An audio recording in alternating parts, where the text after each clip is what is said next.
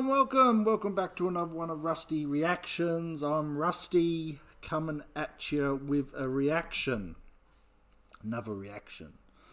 Now, there's a lot of news going on around there on the internet.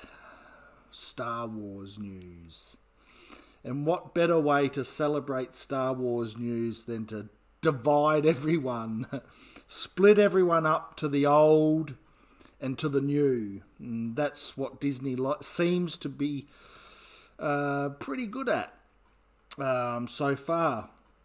So we've got another thing here, uh, another thing.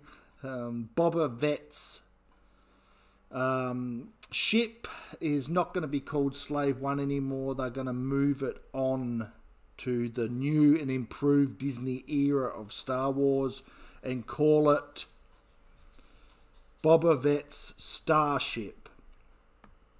Now, I've got an article here. Look, I'm not going to read the article too much. A lot of you guys have probably heard this to death already because every YouTuber, every article, every person who's remotely into Star Wars is covering this. I'm just going to give you my view on it.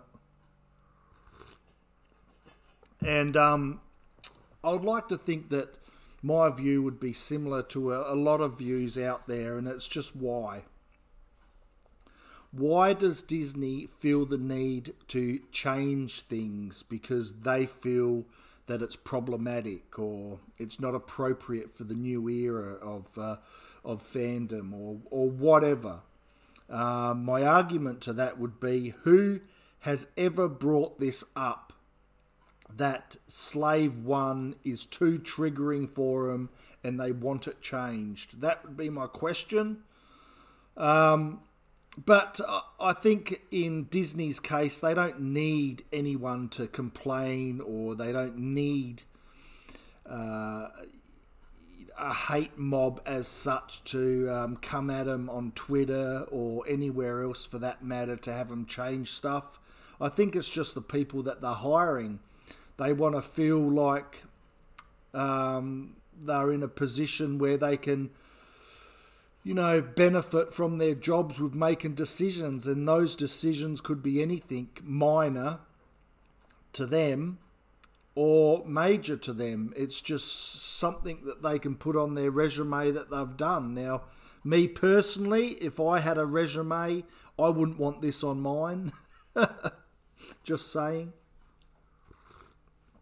But former Boba Fett actor Mark Anthony Austin, he's come out and he's um, he's tweeted a tweet down below that uh, my ship will never be slave. Uh, my ship will will forever. sorry. My ship will forever be slave one.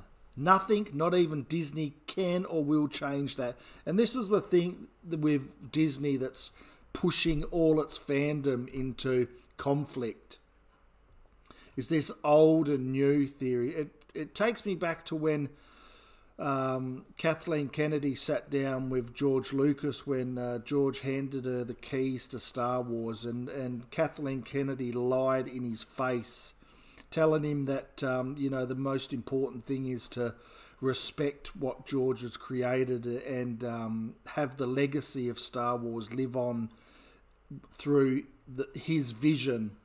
The main thing is to protect these characters, make sure that they still continue to, to live in the way that you created them, and that the universe of Star Wars continues to grow.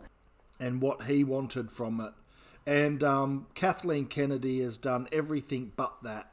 Um, uh, which is blatantly obvious to everyone. You have to be a, a real novice in the world of entertainment and or even plus Star Wars fandom to not acknowledge that fact. Oh, coffee. Yeah. Now, um, if we go to the Lego official website there, you can see that it's got Boba Fett's Starship. It's all true all of it. um, yeah, so Boba Fett Slave One is going to be, in my view, is going to be slowly erased. Um, it's not giving me no hope for the Book of Boba Fett.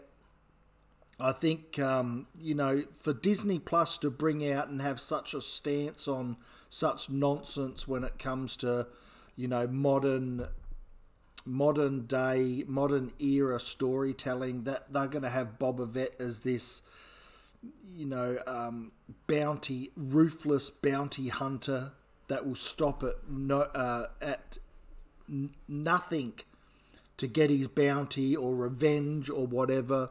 So, um, I really feel fear for uh, the Book of Boba Fett to see where they take him and what they do with him. But changing his ship from Slave One to Starship is just probably a little bit of confirmation that um, the Bo- the Book of Boba Fett's not going to be what everyone thinks, and um, they're going to. Um, what does Rian Johnson subvert everyone's expectations when it comes to uh, what they're creating, um, as um, Rian Johnson did to us with the the Last Jedi. So yeah, it's very unfortunate um, that Disney has taken this franchise and has just ran it into the ground. I've got no interest in it. I've done a couple of um, Bad Batch reviews. You can watch them. I've left them up there, but I've I lost interest in that. I haven't watched an episode since. It's just so boring. Um, the direction that they have it in, um, and um, uh, put Omega as the star character in there with a, a bunch of mercenary uh, Bad Batch clones. It's that's just my view. I'm sure there's people out there that like it. Uh, good for you. Um, so yeah, there's nothing that Star Wars is producing that sparked my interest. The Book of Boba Fett with just more stuff like this coming out gives me grave fears in the direction they're going to go.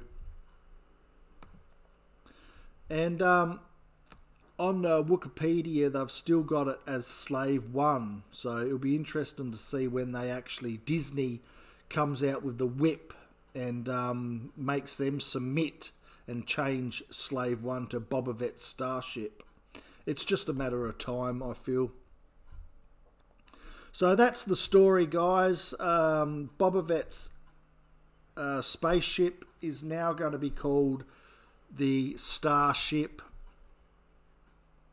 Um, Slave One is no more, and we have to just get to use to the fact. Now, what else are they going to ch- change. Starkiller Base, that's problematic.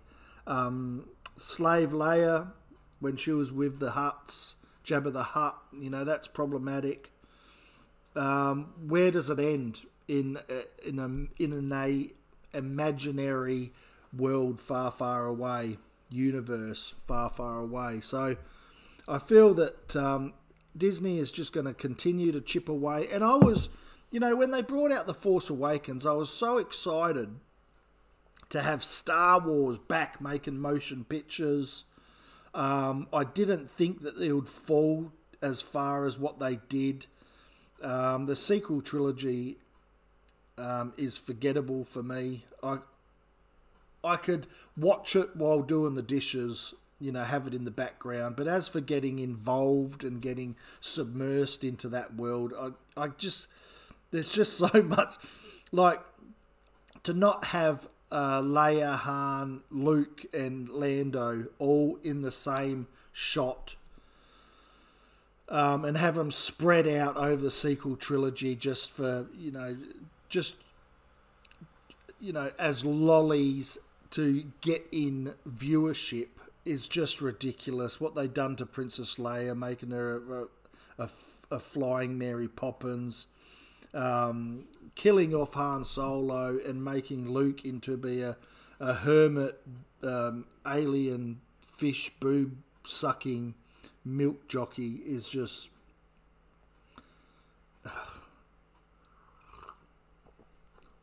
and as well as having space horses, nothing tells you, no, nothing more tells you about an exciting space adventure uh, more than space horses.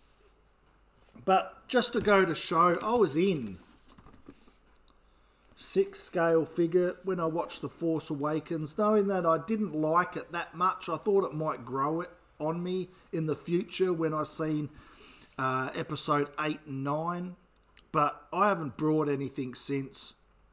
Uh, especially the way that Disney have treated all the fans, you know, turning on us when it's them creating these um, these pieces of entertainment for people to enjoy and just injecting their politics and their their agendas in there and getting writers in that are doing the same thing. It's just no one wants to live for today. They want to be in an imaginary world, just getting entertained, and I haven't. But this is just proof that I was in with The Force Awakens. I was in. I was happy for him to be creating. And um, now I couldn't give a rat's ass. And that's just the way I feel. Um, so I got my doubts. So I'm going to make this short. I don't know how long has it been going for. I've been sitting here talking, drinking my coffee. Um, so yeah, so this is just more evidence of uh, how much Disney's is uh, chipping away at Star Wars and just re trying to remold it into their form and and and what they feel is a reformed Star Wars is not what I think it is. So that's my video, guys. What do you think about that? Uh, Slave One is gone forever. Too problematic. The name. Um, do you think it's just going to be for the Lego series? I don't think so. I think is this is going to be widely swept throughout everything. Um, and um, the dis- the disgraceful way that they're treating Star Wars is just continuing on, and it's not in George Lucas's vision, and it's not in respect to what George Lucas has created. Um, and uh, I worry for the Book of Boba Fett, and I worry for the Obi Wan series. Now, with that, there's probably going to be more that I can do a video on later, but I just feel I'm going out on a limb. But uh, but Disney is going to show us another level of disgrace when they take iconic characters and iconic actors, Ewan McGregor, and just make them act in a way that makes them pathetic, and it'll be more stripping down, stripping back the legacy of uh, of Star Wars. I could be wrong. I hope I am. So that's my video, guys. Hope you enjoyed it. Leave a comment down below what I should uh, react to next, and maybe that might be my next video. So until that moment in time, everyone take care. Bye.